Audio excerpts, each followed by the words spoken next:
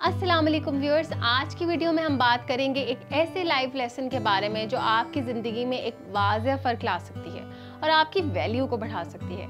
मुकम्मल आगाही के लिए इस वीडियो को कंप्लीट देखें।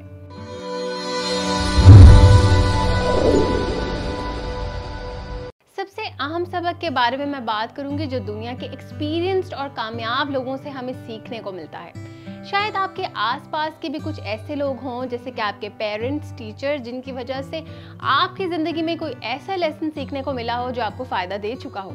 या आपके कोई भी मेंटर हो सकते हैं, जिनकी वजह से आपकी लाइफ में कोई वैल्यू एडिशन हुई हो, या इससे रिलेट कर रहा हो।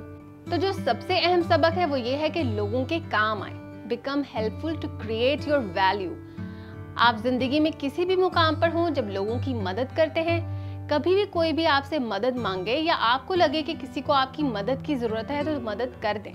लोगों के लिए मददगार साबित होंगे तो आपकी वैल्यू बढ़ेगी। जितनी ज़्यादा आप मदद करेंगे, लोगों की ज़िंदगी आसान करेंगे, आपकी ज़िंदगी में भी उतनी आसानी आएगी। आप अपने आसपास के लोगों के लिए मददगार बनेंगे तो लोग आपकी कदर करेंगे, आपको वैल्यू देंगे।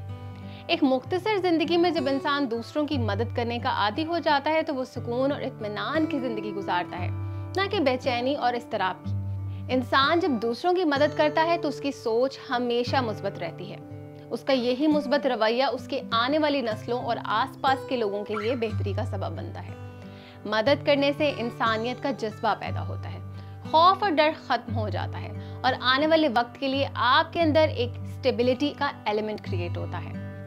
अगर आपके पास इल्म है तो इल्म बांटें। अगर आपके पास दौलत है तो लोगों की भरपूर मदद करें। अगर आपके पास शऊर है तो लोगों को शऊर दें। कुदरत का कानून है कि जो पानी चलता रहता है, फ्लो में रहता है, वो कभी भी मैला नहीं होता। और हमेशा वो पानी मैला होता है, जिसका फ्लो बंद हो जाए।